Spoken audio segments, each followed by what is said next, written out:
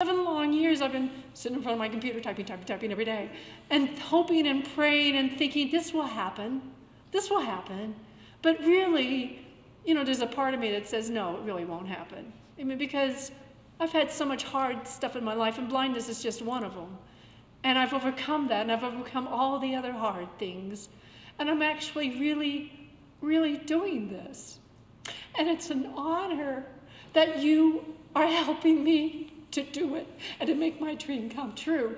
So the next time you see me on this stage or some stage, I don't know what, I really want to do a concert and say really thank you because the book will be published and it's going to happen in six months. And whoa, to this movie. And and you know, I'm going to have this CD. I never thought that would happen, and it may not be perfect, but it's my CD, and Ed will do miracles with it. So that will be great.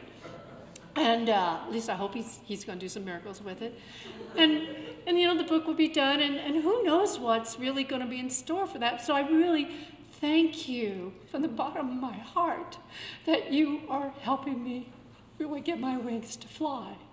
So really, you're the ones that's going to help me get my dream come true. So thank you so much for coming and enabling me to do that. Thank you so much.